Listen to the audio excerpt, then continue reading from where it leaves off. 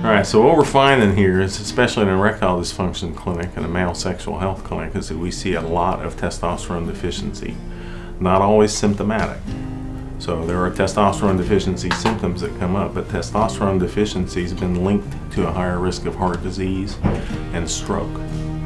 So what we try to do is maximize and optimize a guy's testosterone level, kind of like fitting his shoes. So if I give him a pair of shoes and they don't fit, it doesn't feel right. If his testosterone level is not optimized, he doesn't feel right. All the testosterone in the world is not going to get or maintain an erection. What it takes is good blood flow. And you not only have to have blood come into the penis, you have to hit a pressure point where you can't maintain your erection. So even if someone's getting a 70 or an 80% and they're able to have intercourse just fine with that, they are spilling over the top. They're not hitting their pressure point. So she moves wrong, your partner moves wrong, you move wrong, you do something, you think about it, you had too much alcohol, too little alcohol, whatever, you fall, you can't get back. We have a product that hits that pressure point and you're gonna stay erect until the medicine wears off or until I give you an antidote.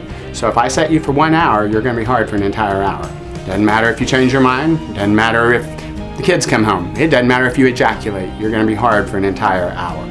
So basically what it allows is probably for the first time in your life, most men, not just the ones that come here, have never had control of their bedroom.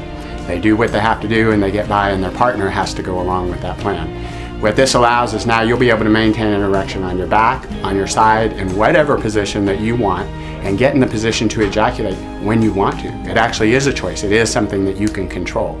You can actually ejaculate multiple times if you wish to pick two hours. We get men here with perfect erections. They want two hours of time or more so that they can ejaculate twice. The reason that this product is so good is it is so effective. It's 99.9% effective even on someone that's had their prostate cut out, even on someone that's paralyzed from the waist down because it doesn't work on nerves.